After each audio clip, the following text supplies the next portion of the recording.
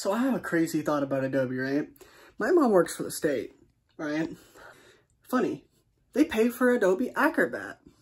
Hmm. I've also been around government computers. I can't say where or how, but I have seen government workers. Guess what? Guess what software they use? Adobe Acrobat. Hmm. How would you want to bet one of our government agencies here in the U.S.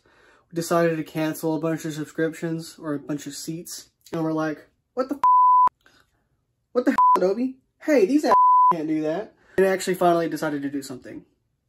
How much do you want to bet? I will bet my right It only happened. The government only went after Adobe because it affected them. There was a senator who finally understood what right to repair was when his Xbox broke. Whenever it happens to them, it's the end of the world. But when it happens to the average person, they don't care. They only care when it happens to them.